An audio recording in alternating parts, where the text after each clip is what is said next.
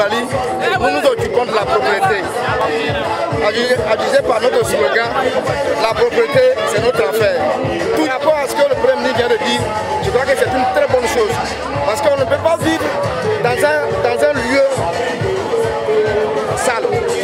La salubrité, c'est une affaire de tous. Chacun de nous doit, doit, mettre du sien pour que nous puissions vivre dans un, dans un environnement sain. La saleté, ça entraîne des maladies. Et pour éviter tout ceci, il faut que chacun de nous prenne son bateau de pèlerin pour éradiquer euh, la salubrité. Vous venez donc euh, d'assister à la cérémonie, une cérémonie qui donne l'opportunité à tout le monde de s'appliquer euh, dans la salubrité. Votre point de vue Vous savez, nous venons tous d'écouter hein, et nous avons été au parfum de ce qu'il faut retenir que la propriété est le premier maillon de la santé de l'homme.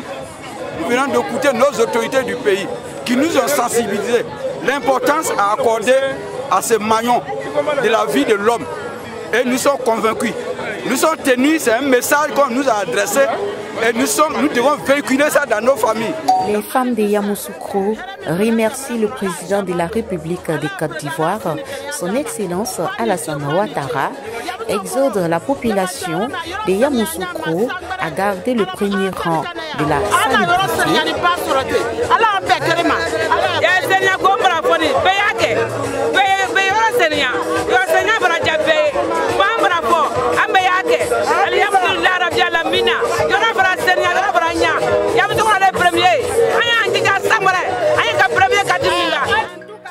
interpelle le président de la République à jeter un coup d'œil sur les personnes qui financent ce domaine.